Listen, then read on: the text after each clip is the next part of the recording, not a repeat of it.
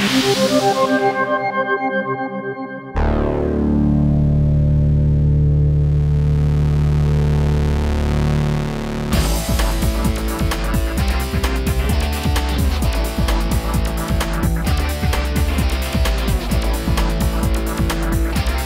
I, I'm really excited to see vision-based cameras, ultrasonic, GPS, laser.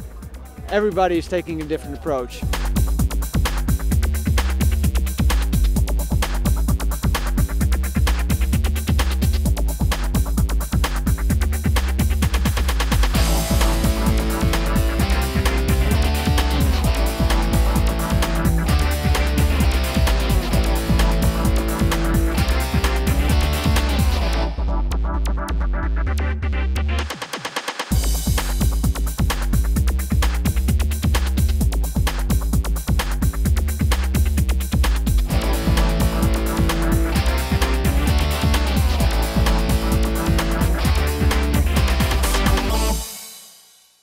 I'd like to thank our sponsors, US Bank, Honeywell, Alliant Techsystems, Lockheed Martin, ASTER Labs, and HP Motorsports for all of their support. Without them, we wouldn't have been able to have this happen.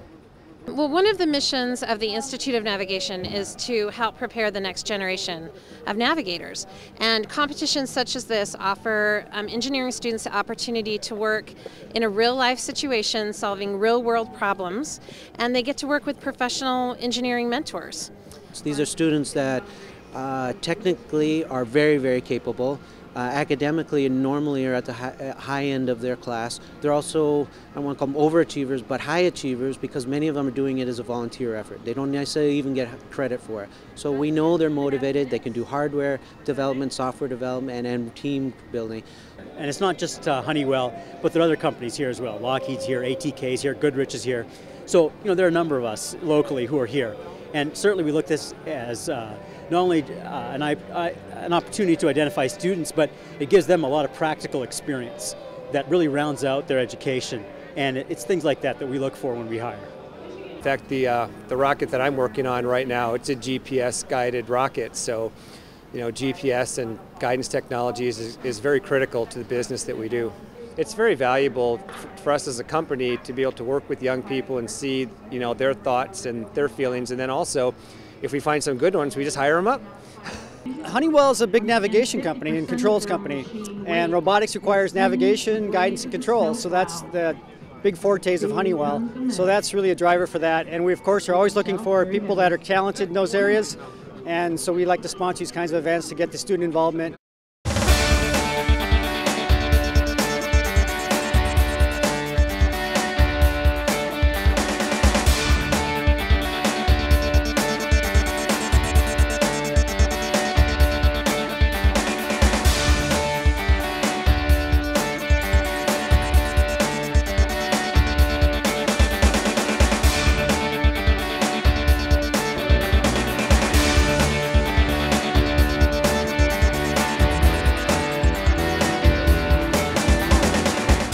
Nothing with that.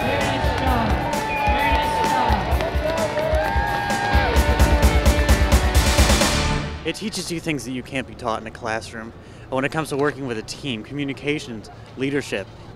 Yesterday was just one straight line. We can do one straight line for a while now, but to make two turns, all of our sensors, and the way we're measuring the headings, we have inertial sensor on it, we have GPS on it, and one of our inertial sensors calibration program all of a sudden quit working yesterday, and we couldn't use it. We have come up with an alternative yesterday. I think it's just a great way to bring a lot of people together, established professionals and students. So I think it's a great mesh of minds, scientific minds, which I am not one of.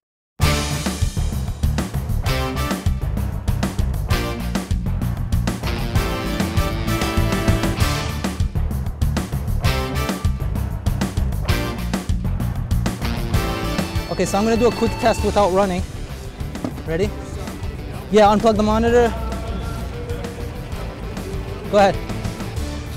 Yeah, mouse. We'll, we'll Oh, get it. just- He's, he'll come in.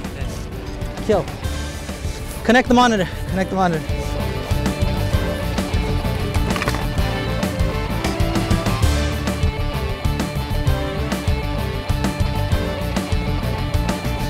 stay away from the laser.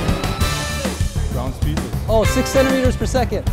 Almost close to the speed of sound. The batteries on top are heating the laser. That's the-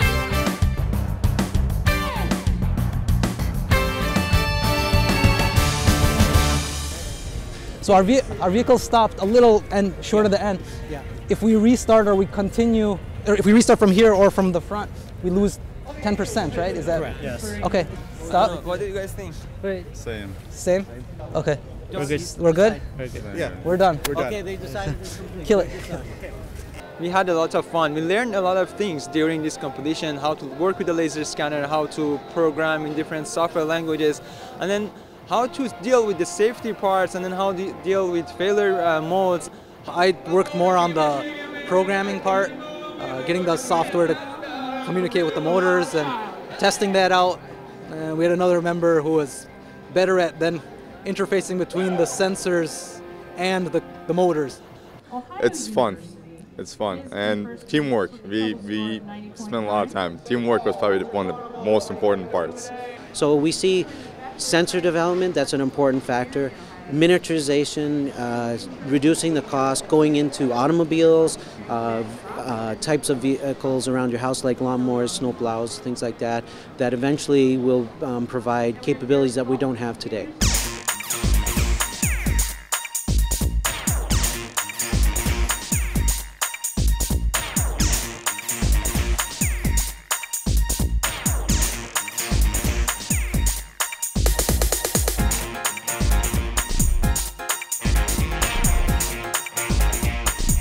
Because you've hit a boundary, you can move it to the most previous plowed area and then go from there, or anyone previous. So you can come all the way to the start.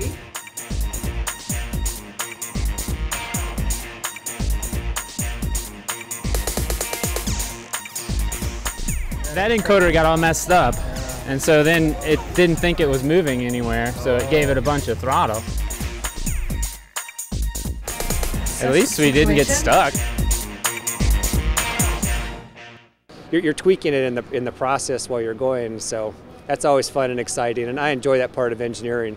I always feel that if you're not making mistakes, you're not learning anything. So I'm, I'm sure they're learning an awful lot today.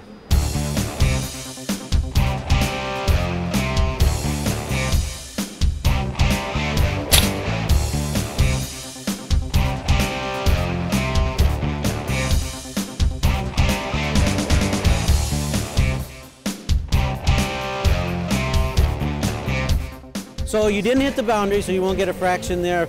You're uh, you stopped it. You could say you're done for the day, or good, or you can move you can move it all the way back for a restart, full restart. I might agree with you guys that you could keep this angle, but go that way a little.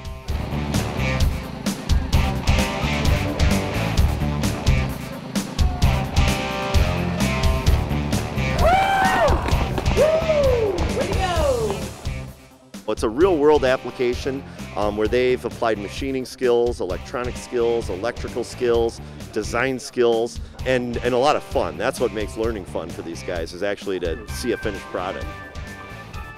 Our encoders on those wheels kind of pick up vibrations too, so it's making it hard to make the tractor very accurate right now. You know, it's our first year and we came out here to compete and that's what we're doing.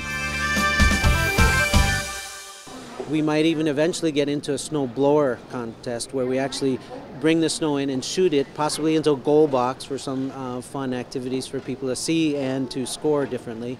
Um, and move on to other things. Uh, some groups have even said we could go onto an ice rink and do automated zambonis, so that would clear an ice rink, for example.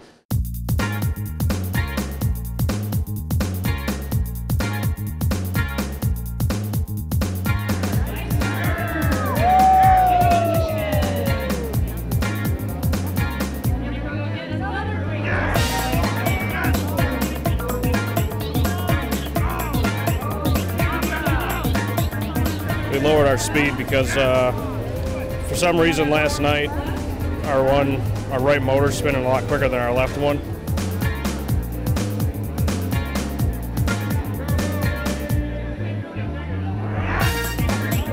I think no, one motor might be burned out. What if we kick these cones to the side and start lined up with that and it's going to have to go to the right? What do you think? Really, our system's relying solely on statistics. And uh, we just sample what the snow looks like, and we just take pictures and statistically analyze is that snow or not. So I'm just trying to take everything I learn in the class and you know apply it to something that makes sense and um, actually see it in action. Really, this has been a good uh, experience. I, I, am a computer engineering student, so I got to learn both electrical and uh, computer science kind of things. So this has been a good way for me to integrate. So if we can solve this problem of moving snow totally robotic, think what we could do for future automobiles or transport or anything else like that.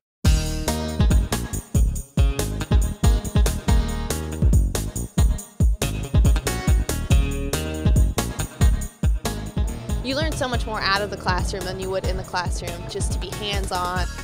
Originally, we were putting it together just to get the platform working over the summer for a senior design group, but then pretty early on in the summer, they decided they wanted to compete in this competition, um, and that's when we got the whole team together. So. Right now, it's a snow plow. We've done a lawnmower before, so we're working on a search and rescue robot. And they're basically turning it into a pack mule where it kind of, it, you tell it to follow a target and it'll follow a target and go the same path they go. And so you can load it up with uh, whatever you want. It'll just follow you around. Clearly the students get a lot of exposure also to potential employers and that's also a nice feature and, and get some real world experience in doing engineering under pressure. It, it cost us a lot, a lot of late nights, and uh, but it's definitely worth it. And, and the really nice part about this competition is that the judges have been extremely helpful and constructive and it's, it's really just like being an industry for them uh, to have to answer to, to the questions that are being asked of them and, and do the design, design iterations. I don't think there's a substitute for actually being here and making it work. It's quite exciting and uh, quite nerve-wracking as well once in a while. On Thursday, the students had to do student presentations to a board of eight different judges from our sponsors, and they were quizzed quite vigorously as to how they designed their vehicles. One team received the Best Presentation Award. Ohio University wins $500 of Best Presentation. In third place and winning $500 is Dunwoody College of Technology. We can have our check through and our bronze snow globe award. Woo! Shake that bronze snowball. Well, second place and winning the silver snow globe, along with a check for $1,500, is Miami University of Ohio.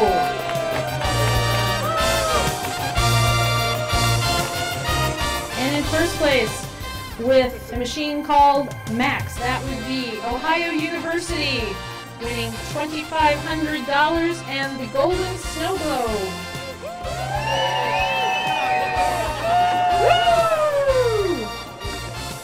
Ohio University is going home with $3,000 total. Congratulations. Thank you very much. We'll see you next year. Start planning now.